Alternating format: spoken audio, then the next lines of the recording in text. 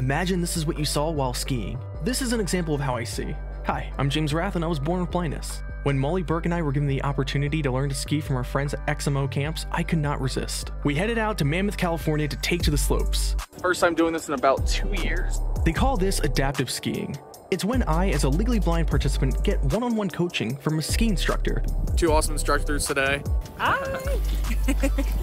Barb and Emma. So up tall here, and now down. Together, we remain aware of the space that we have. I also wear a ski bib that states I'm visually impaired or a blind skier. For everyone's safety, but it's also helpful during lunchtime.